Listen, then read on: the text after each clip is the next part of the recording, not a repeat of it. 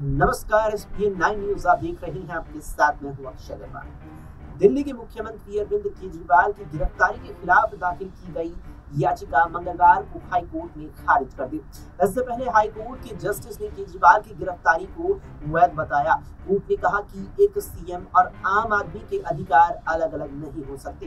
Court ने चुनाव से ठीक पहले अरविंद केजरीवाल की गिरफ्तारी को एक राजनीतिक साजिश बताने वाली दलील को भी सिरे से खारिज कर दिया। याचिका खारिज करते हुए हाईकोर्ट ने कहा कि अरविंद केजरीवाल को छह महीने से ज़्यादा वक्त तक समन दिए गए, लेकिन वो एक भी समन पर उपस्थित नहीं हुए। इसीलिए ईडी के पास केजरीवाल को जाँच में शामिल करने के लिए रिमांड के अलावा लेना, इसके अलावा और कोई विकल्प नहीं था। पढ़े हाईकोर्ट ने फैसला सुनाते वक्त क्या कुछ कहा। यह चलिए हम ही आपको बताते चले।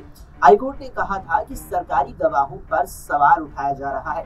ये न्याय प्रक्रिया पर सवाल उठाने जैसा है। सरकारी गवाह उन्हें निदेशालय के आदेश पर बनाया गया था केजरीवाल के वकील अभिषेक मनु सिंघवी द्वारा सरकारी गवाहों को दगा देने वाले जयचंद कहने की दलील पर कोर्ट ने कहा कि आश्चर्य है कि क्या ये दलील स्वीकार करने के बराबर होगी। कि सरकारी गवाह और याचिकाकर्ता कथित योजना का हिस्सा थे।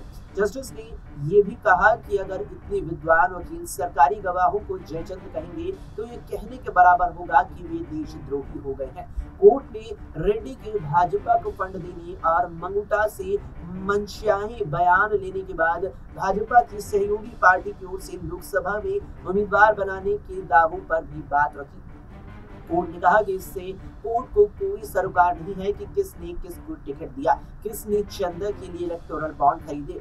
कोर्ट सिर्फ़ साक्ष्यों पर ही विचार करेगी। सबसे अहम कोर्ट ने इस मामले में ईडी द्वारा पीएमएलए की धारा 70 को भी बरकरार रखा है, जिसके तहत धारा 70 किसी कंपनी को पीएमएलए के दायरे में ला सकती है। फ़िलहाल के इस वीडियो में इतना ही। देश और दुनिया की तमाम खबरों के लिए आप देखते रहें एस पी